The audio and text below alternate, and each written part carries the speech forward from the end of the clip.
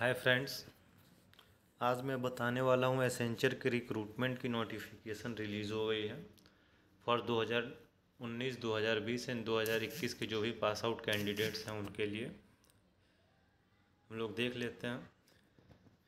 Accenture off campus placement 2021 hiring fresher as a software engineer for package up to 4.5 lakh per annum Accenture off campus placement इसके regarding इसमें brief डिस्क बता रखा है किस क्या परफॉर्मेंस चाहिए उनको इस जॉब प्रोफ़ाइल के regarding and what was the leading global professional ये क्या एक्सपेक्ट करते हैं अपने इस एम्प्लॉय से। कंपनी की वेबसाइट और इसके एप्लीकेशन की लिंक मैं डिस्क्रिप्शन में डाल दूँगा। ये job profile mainly associate software engineer based है। Qualification minimum BE and B मांग रखा है इसमें। पास आउट ईयर 2019, 2020 एंड 2021 के जो भी एलिजिबल पास आउट कैंडिडेट जो भी पासड हैं वो एलिजिबल हैं इसके लिए। वर्क लोकेशन इसका मेनली हैदराबाद चेन्नई मुंबई पुणे गुरुग्राम है। एक्सपीरियंस इसका ज़ीरो टू वन मांग रखा है इस मिनिमम अगर आप फ्रेशर हैं तो भी आप अप्लाई कर सकते हो। और इन फ्यूचर आपके पास अगर एक्सपीरियंस है तो इस मस्ट बेटर बेहतर ही है वो। Overview of Accenture off campus for 2021-20 and 2019 batch के लिए। Join our team that is developing designing and maintaining technologies that improve the way our client and the world work working in challenging and dynamic environments using their versatility to create and support technology solution that meet client requirement from analysis to implementation इन्होंने overview बता रखा है अपना, जो भी है।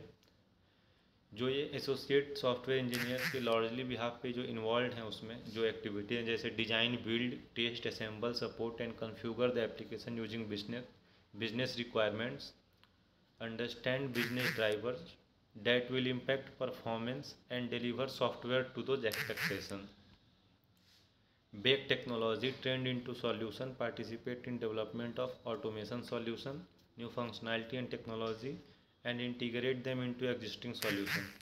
Responsible for incident resolution and support extended to customers through voice interaction, email, chat and remote support.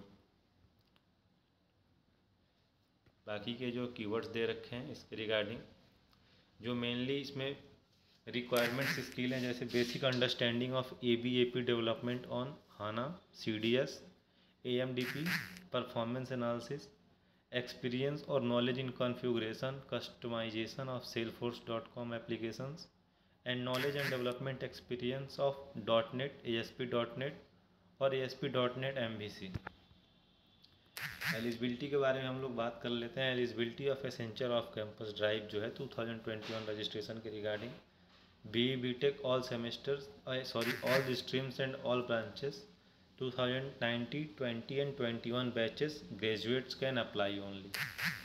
An aggregate of 65% or 6.5 CGPA with no active backlog at the time of recruitment process and during onboarding. Maximum one year gap in education. Post 10th standard till completion of graduation. 0 to 1 year of work experience can apply and the candidate should have certification academic project experience internship or work experience in the following technology like ASP.NET, SAP, ABP, SFDC.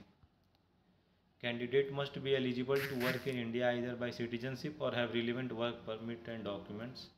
इसमें foreign के भी बच्चे apply कर सकते हैं बस उनके पास वर्किंग वीज़ा का परमिट होना चाहिए और सिटीजनशिप होनी चाहिए उस चीज़ के रिगार्डिंग जो भी क्राइटेरिया मेंशन किया हुआ है कैंडिडेट हुए वर्क और applied at Accenture before if any must disclose the detail at the time of application please note that Bhutan and Nepal national can work in India without a need for obtaining work visa इसमें नेपाल और भूटान के जो बच्चे हैं, उनके लिए work visa ऐसी कोई नेसेसरी नहीं है। वो एलिजिबल हैं डायरेक्टली अप्लाई करके उसके regarding all other foreign national require a work visa और in over citizenship India O C I उन्हें OCI से ओवरसीट सिटीजनशिप ऑफ़ इंडिया से उन्हें इस चीज़ के रिगार्डिंग वर्किंग वीज़ा उनके पास होना चाहिए और पर्सन ऑफ़ इंडियन ओरिजिन या पीआईओ कार्ड होना चाहिए उनके पास टू वर्क इन इंडिया मैं इसका लिंक डिस्क्रिप्शन में डाल देता हूँ अब बाकी जो फर्दर इसके रिगार्डिंग जो भी कीवर्ड्स हैं इंपॉर्टेंट टर्म्स है, वो भी डिस्क्रिप्शन में डाल देता हूँ। आप इसे देख लीजिए। Thank you